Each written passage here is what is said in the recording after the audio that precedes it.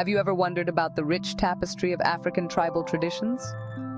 Today, I'll take you on a fascinating journey into the heart of these vibrant cultures. We'll explore the deep-rooted practices and beliefs that have been passed down through generations.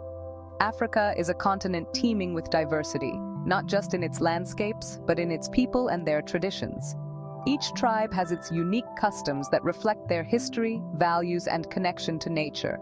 One of the most intriguing aspects of African tribal culture is the role of goddesses. These powerful figures are often seen as the embodiment of natural forces and are revered for their wisdom and strength. In many tribes, goddesses symbolize fertility, protection, and prosperity. Take, for instance, the Yoruba people of Nigeria. They honor Oshun, the goddess of love, fertility, and rivers. Oshun is celebrated through vibrant festivals featuring dance, music, and elaborate rituals. Her devotees believe she brings beauty, wealth, and children to those who honor her. Another fascinating tradition can be found among the Himba tribe in Namibia. The Himba worship the goddess Mukuru, who is believed to be the guardian of their ancestors. The Himba people are known for their distinctive red ochre body paint, which they apply as a form of protection and to honor their goddess. In these cultures, the human body is not just a vessel but a canvas that tells stories and conveys spiritual meanings.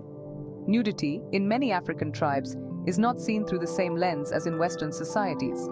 It represents purity, freedom, and a deep connection to the earth and the divine. The Nuba people of Sudan, for example, hold a deep reverence for the natural human form. Their traditional ceremonies often involve full-body adornment with intricate paintings and tattoos, each symbolizing different aspects of their identity and beliefs. Understanding these customs requires an open mind and a respect for the cultural context in which they exist. It's a reminder that beauty and reverence can be expressed in many forms, transcending the boundaries of geography and tradition. These traditions are not static. They evolve and adapt, reflecting the resilience and creativity of the people who uphold them.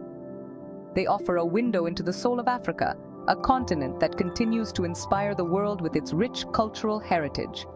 I hope you enjoyed this deep dive into African tribal traditions. If you found this exploration as enlightening as I did, be sure to like, subscribe, and share.